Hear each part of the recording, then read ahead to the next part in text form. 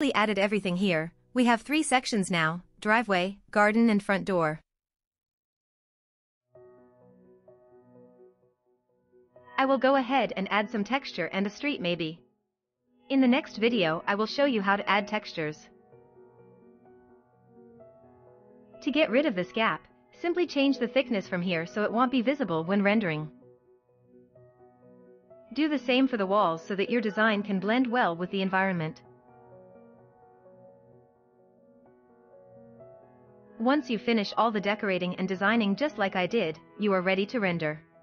Let me know if you want a video explaining how I created this garden.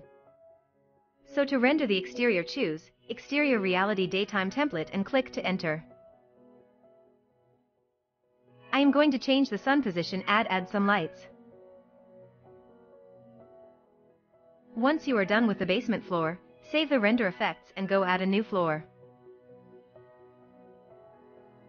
It is important to note that, if you want to achieve a good exterior rendering you must save render effects for each floor and then render. Otherwise you will end up with different light settings for each floor. As you can see I am saving effects for the first floor as well. Make sure to delete these window lights here to avoid exposure like it's shown here. I will be doing the same to the second floor I created, choosing the same light template and adjusting the sun position to match the previous floors we did.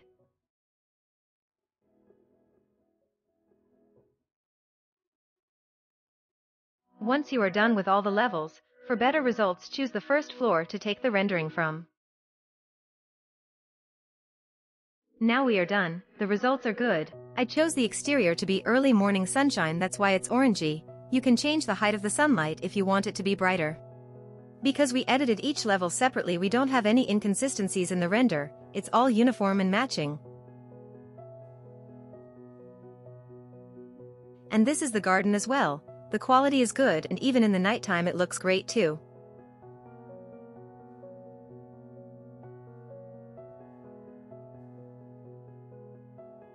I really hope this video was helpful and simple. If you have any questions leave them in the comment section below.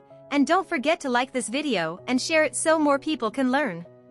If our content is helping you, subscribe to our channel so we can keep doing more of these tutorials.